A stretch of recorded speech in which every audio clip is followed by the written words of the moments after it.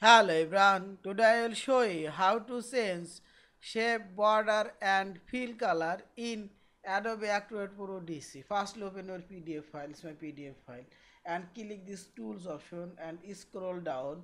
Here you will find this comment option, click here comment and here you will find this shape icon and select any of this shape.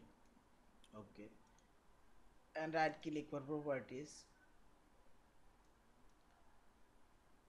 here you can change this shape border color or fill color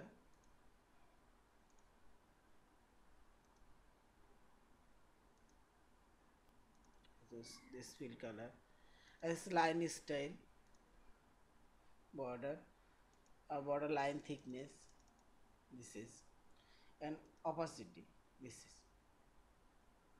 now click ok also I saw this oval click right button or properties and sense fill color border color this is and fill color the opacity and line thickness this yeah.